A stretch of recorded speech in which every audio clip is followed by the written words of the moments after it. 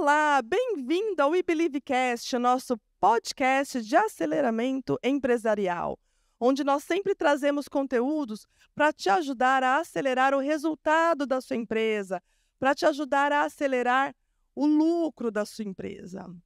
Meu nome é Renata Pontes, sou CEO da We Believe e eu estou aqui com duas convidadas mais que especiais. Olá, eu sou a Caroline Santiago, sou supervisora da consultoria de marketing e vendas da We Believe. Olá, pessoal, eu sou a Eliane, sou gerente de marketing da We Believe. Sobre o que, que a gente vai. Ah, antes de começarmos, né, vamos explicar um pouquinho do porquê o Conrado não está conosco. Nós estamos gravando esse podcast especial. Vocês estão vendo que a gente está em outro ambiente, mas nós estamos em um evento. Um evento que está acontecendo aqui em São Paulo, onde a gente está com mais de 700 pessoas. E por isso Conrado não está conosco, ele está se preparando para poder subir ao palco. Meninas, qual será o conteúdo que traremos para a nossa audiência hoje? Qual será a dica que nós vamos trazer para eles e que envolva marketing, venda, já que nós estamos com duas especialistas da We Believe aqui comigo, para poder ajudar os clientes? Então, hoje é, nós vamos falar um pouco mais sobre algumas estratégias de caixa rápido e simples, de forma simples que vocês já podem aplicar a partir do momento que esse podcast acabar. Eu já vou fazer o merchan, gente. Se vocês nunca participaram de um evento presencial do Conrado, participem. Entrem no próximo, porque a, a experiência é incrível. O Conrado ao vivo é espetacular. Então, hoje aqui, estamos aqui na, na ansiedade dele entrar no palco o evento vai ser incrível, então eu já estou começando vendendo. Só vai. Só vai. Só vai. É. Carol, conta pra gente um pouquinho de como que a gente atua com os nossos clientes para ajudar eles a vender, para ajudar eles a estruturar seus processos de vendas. Então, na consultoria, todos os nossos clientes passam inicialmente por uma anamnese, um diagnóstico que a gente chama.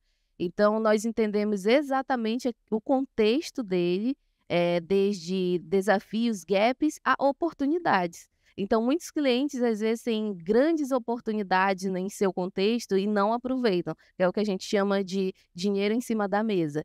Então, hoje, ao entrar na consultoria, nós identificamos isso e começamos sempre com estratégias que gerem o maior impacto e o menor esforço possível. E hoje a gente vai abrir um pouco a nossa caixa preta e falar sobre alguma dessas estratégias também. É o famoso 80-20, né? 20% de esforço com 80% de resultado.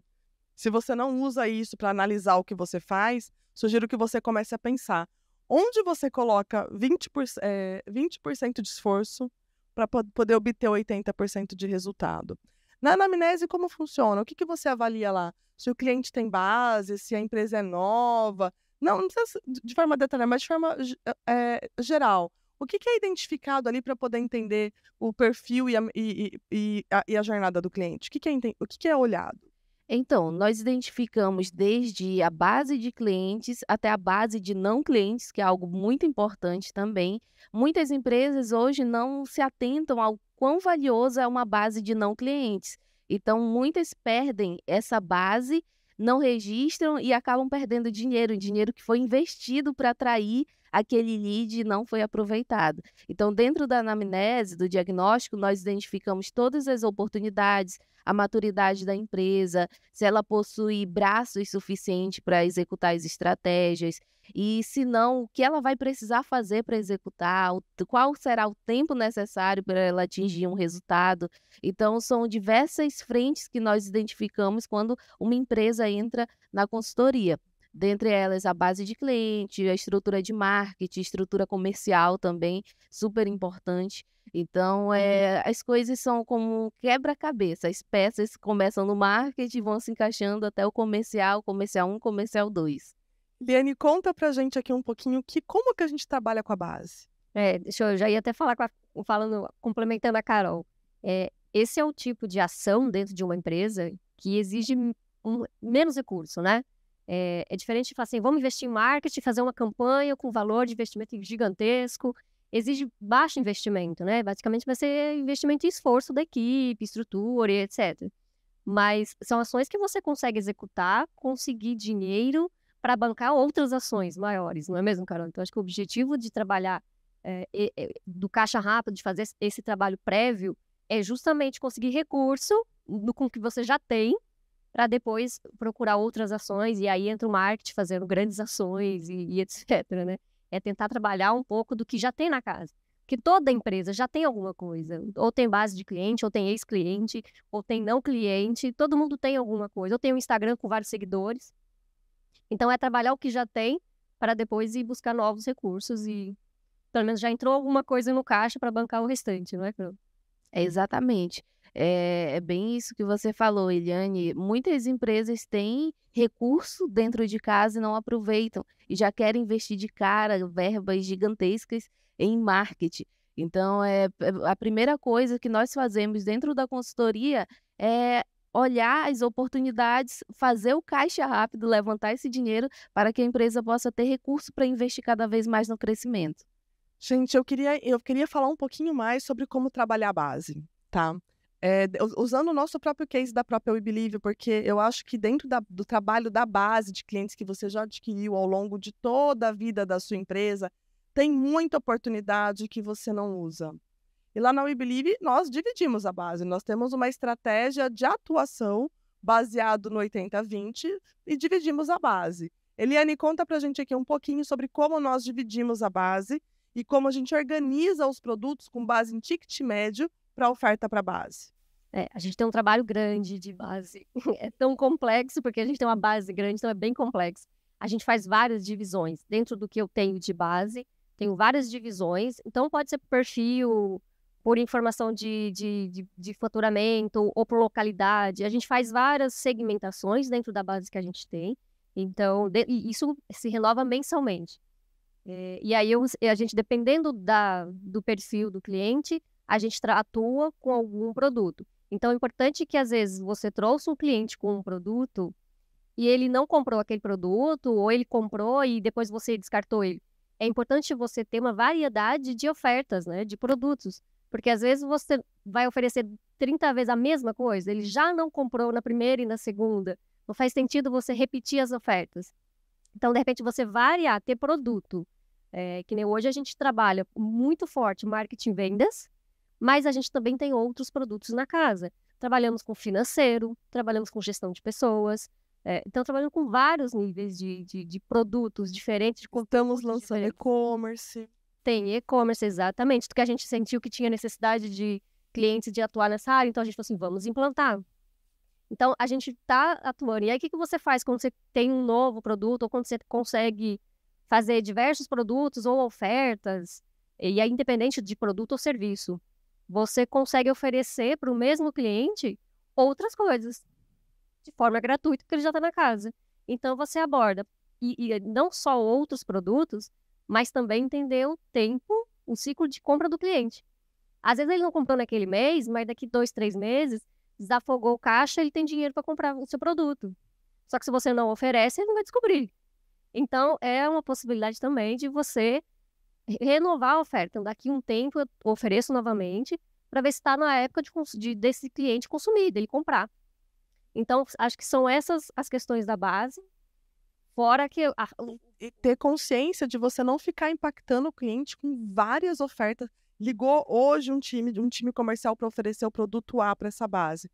Não vai fazer contato de novo com a mesma base daqui uma semana a pessoa vai te bloquear. Exatamente, vai ficar chato, né? então... A pessoa te bloqueia, ninguém é. quer ficar recebendo oferta toda hora. Mas trabalhar com a base de forma consistente. É, exatamente. Hoje a gente tem uma grande. A gente faz uma, essa divisão de base e aí tem equipes de vendedores e de consultores que são separados, cada um faz uma área, né? Um, um perfil de cliente. E aí, dependendo do que o cliente tá, qual é o momento do cliente, a gente faz muito é, esse não é só venda pela venda, é tentar entender o momento do cliente e o que, que ele precisa. Porque às vezes nem o próprio empresário sabe. Repente, se ele não conhece de financeiro, ele nem vai entender que ele está com problema no fluxo de caixa, que ele está com descasamento. Ele nem sabe avaliar isso, né? Então, é o nosso papel dos nossos consultores, às vezes, identificar o que, que o cliente precisa. Às vezes, nem ele sabe.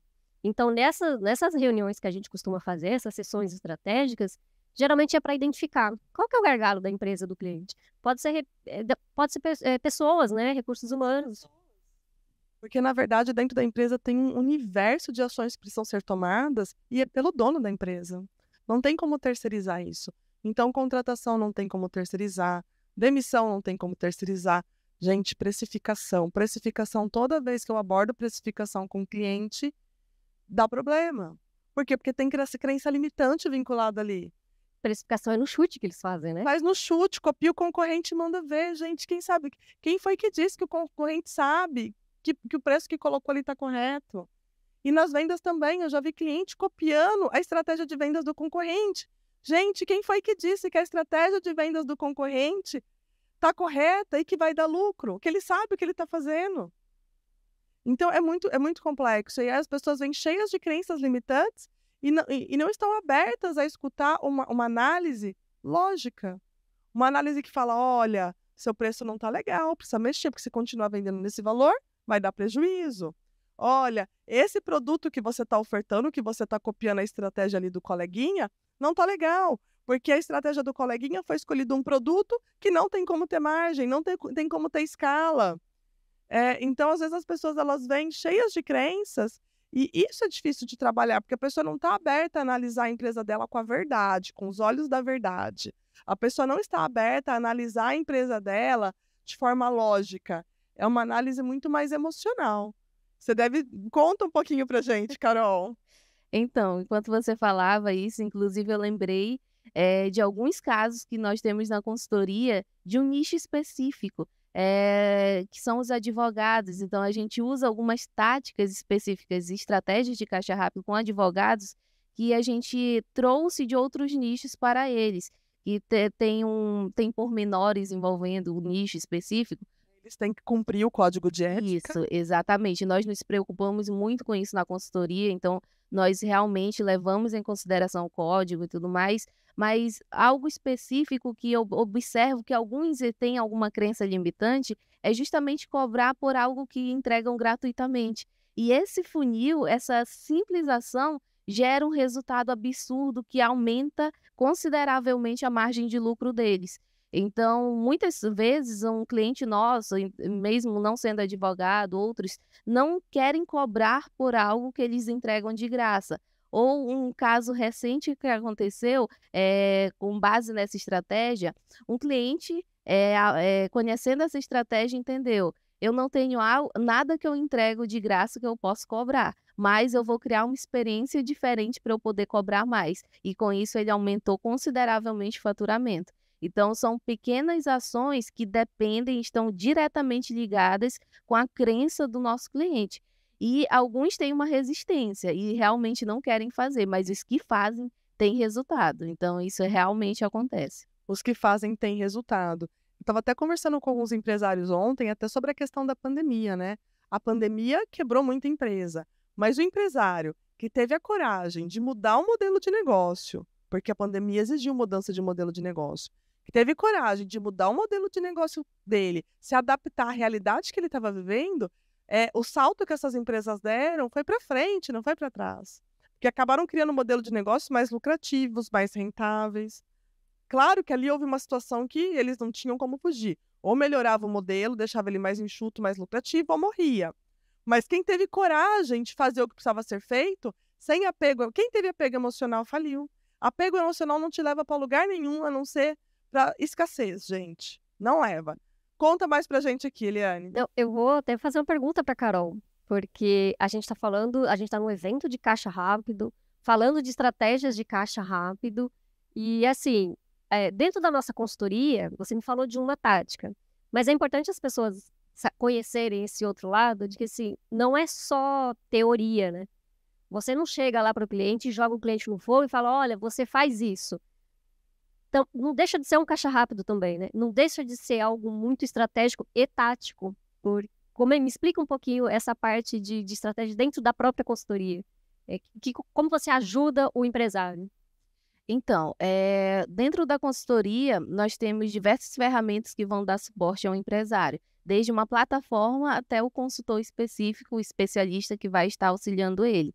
Então, nós temos um acervo gigantesco de cases de estratégia. Então, é, nós, nós pegamos esse acervo e adaptamos ao contexto e à realidade daquela empresa. Claro que, é, por exemplo, vou citar uma outra tática que nós utilizamos, inclusive aqui na We Believe, que é a, a estratégia de indicação.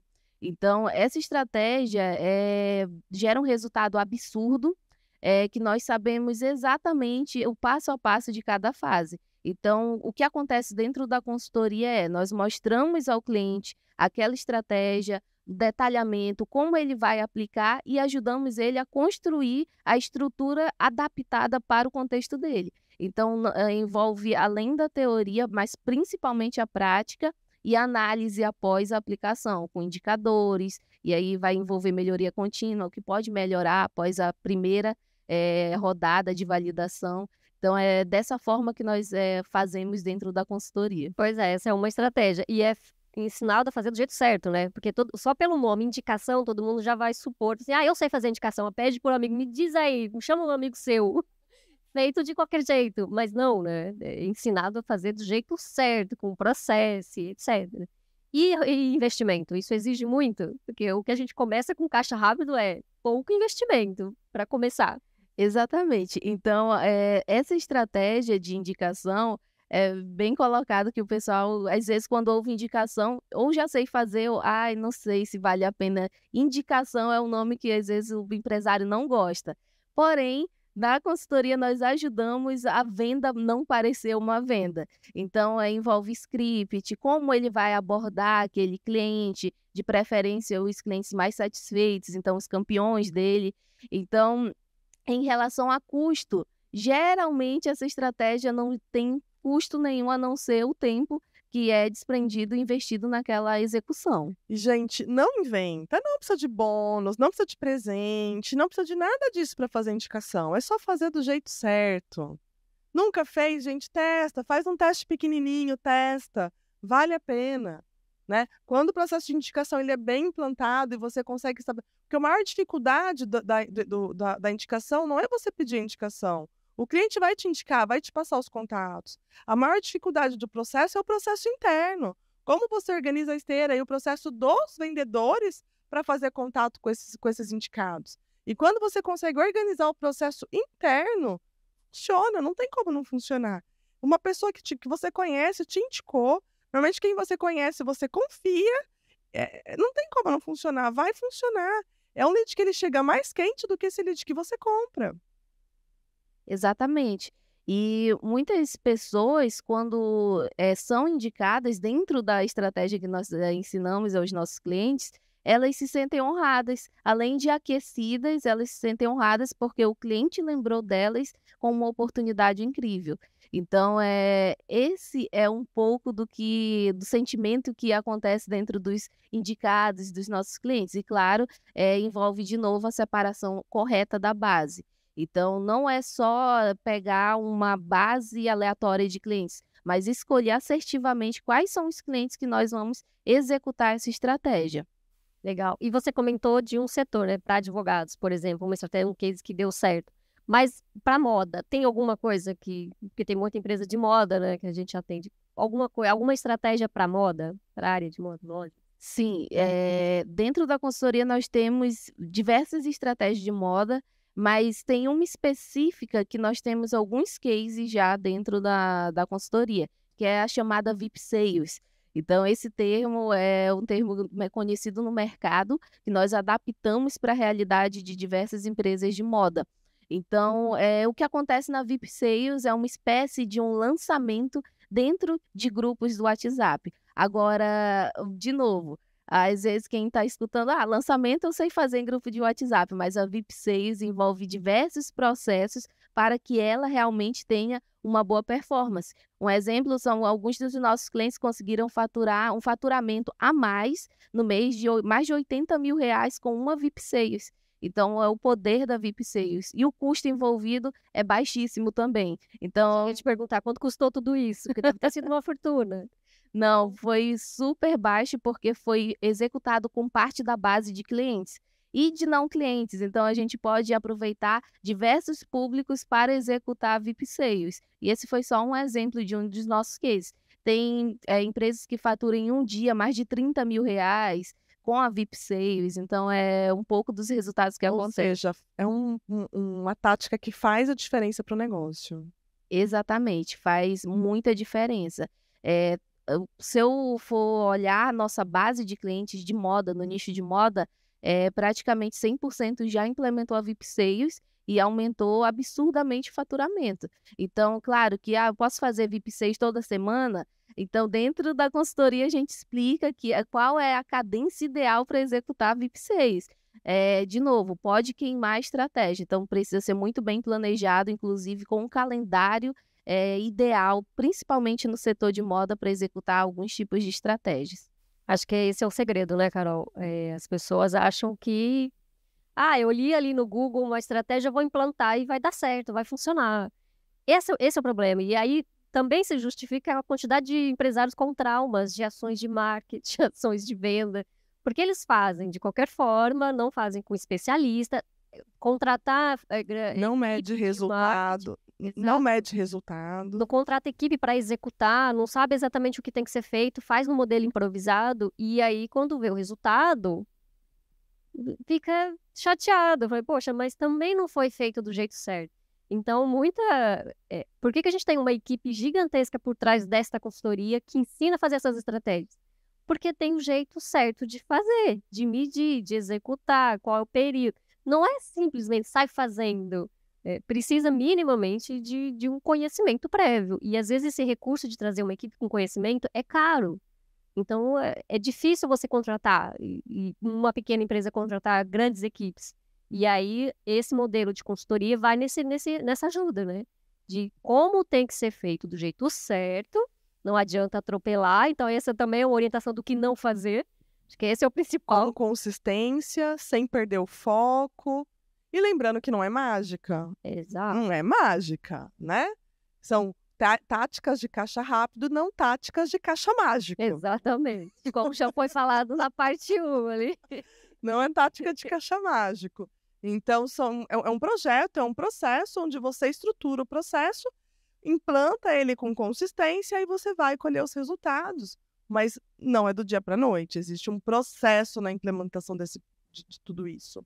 Isso. Lembrando que toda tática ela passa pelas cinco fases. A descoberta, que é aquele primeiro momento quando o empresário descobre a estratégia, muitas vezes não conhece, então nós vamos apresentar a estratégia a ele. Depois ele vai para a fase de validação, que é onde nós vamos executar os primeiros testes com uma base de teste pequena para medir o resultado, analisar os gaps. Depois ele vai para a fase de otimização, onde a gente olha os números, otimiza vê onde aconteceram as quebras e atua em cima, ajustando né, o processo.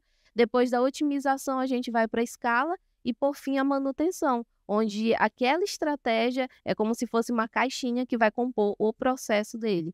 Então, é, toda tática, toda estratégia dentro da consultoria, ela passa por essas cinco fases, porque nós justamente implementamos um processo de marketing vendas para os empresários. E para implementar um processo, ele precisa é passar por cada cinco, por essas cinco fases. Usando até, até o nosso próprio exemplo aqui na We Believe, a gente nunca lança um, um projeto novo no mercado sem testar, né, né Eliane? Hoje a gente está com esse projeto aqui, que a gente está com, com 700 pessoas aqui, mas o primeiro lançamento que a gente fez tinha o quê? 50, 70 É, pessoas na 70 sala? O modelo mini, né? Para a gente testar, validar o interesse, se o público vai gostar ou não, se vai ver valor ou não. Então a gente testou num formato muito pequeno para ter um investimento absurdo e de repente não deu resultado. E aí a gente queima recurso. Então, primeiro é sempre feito o teste. Vamos pegar uma base pequenininha, por exemplo, vamos trabalhar a base. Vamos pegar um pedaço da base, fazer um teste de uma oferta, funcionou, pega a base toda.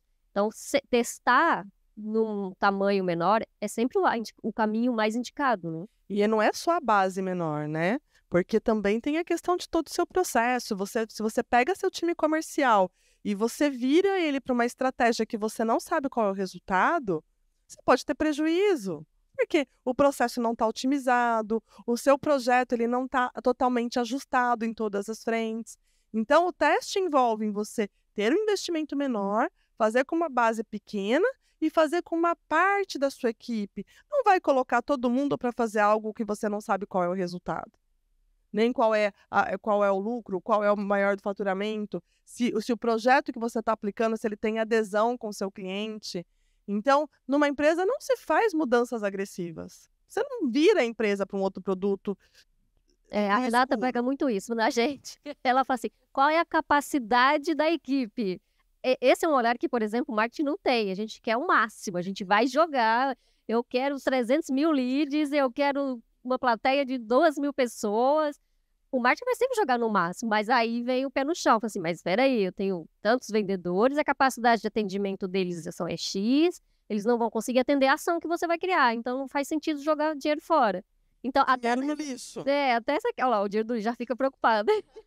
até essa questão de qual é o tamanho da minha ação, mas também qual é a capacidade de atender, né? De, de recurso interno que eu consigo fazer. Então, eu tenho um vendedor. Poxa, quantas pessoas ele vai conseguir atender em um dia? Então, não adianta ir para massa, não adianta pegar uma base gigantesca e fazer uma ação. Vai ter que ser aos poucos. Então, a Renata sempre traz esse olhar de capacidade e estrutura interna para qualquer ação, né? Não, exatamente. E tem alguns clientes que, por exemplo, quero, quero dobrar o meu faturamento. Primeira coisa que a gente pergunta é: a tua equipe consegue abraçar eh, esse aumento de faturamento? Porque vai envolver mais braços, às vezes uma otimização no processo aguenta, mas, por exemplo, é, teve um cliente que nosso de indústria que ele queria aumentar muito o faturamento, só que batia no teto e não passava, apesar de todas as estratégias. Então, dentro da consultoria, nós identificamos que faltava um ajuste no processo dele com pessoas, né? Inclusive, ele aprendeu durante as mentorias da manhã, é, dentro da aula de gestão de pessoas, e também um ajuste no processo comercial dele. Ele contratou mais uma pessoa e, com isso, ele conseguiu escalar as vendas e passar daquele teto de faturamento que ele estava antes. Então, é, é essa pergunta que a gente faz para os nossos clientes é vital é entender se ele tem a capacidade de chegar ao, ao objetivo que ele quer. Não, e, o, e, o, buraco é mais embaixo, não é só a capacidade de atendimento. Você quer dobrar seu, seu faturamento, você vai conseguir entregar, você vai vender, você vai colocar seu nome no mercado. Se você dobrar de um mês para o outro, você consegue entregar, ou para você entregar, você vai ter que gastar tanto que a, a, a dobrar o faturamento não vai fazer sentido. Porque vai ter que investir, vai ter que contratar gente de última hora para poder produzir entregar um serviço que você não treinou as pessoas. É. Imagina é. a quantidade de perda, refação que tem nesse processo. Esse é outro olhar da Renata que ela sempre traz pra gente. Não, ótimo, vamos fazer um evento com 10 mil pessoas. Aí entra 5 mil clientes. O que, que a gente faz? Não tem estrutura para atender, não tem como fazer. E não dá tempo de contratar, porque não é contratar por contratar. Você tem que contratar, você tem que treinar, você tem que ter recursos. Tem uma série de coisas que, que você precisa para crescer de uma hora para outra. Não é bem assim, vamos dobrar meu faturamento. É um sonho do empresário, mas precisa de recursos, precisa entender como fazer. Indústria, qual é a capacidade de produção? Ah, eu vou dobrar, mas você consegue dobrar as suas máquinas, sua, seu estoque em um mês? Então, não é real, né? Entender se o cliente tem capacidade de absorção dos produtos, então não é real. Dentro da própria Believe, meu combinado com a Eliane é que o investimento dela não pode passar de 10% do mês. E aí isso me propõe, me dá condições de ter um crescimento sustentável, um crescimento. A gente vai dobrar? Claro que vai, mas não é do dia para a noite.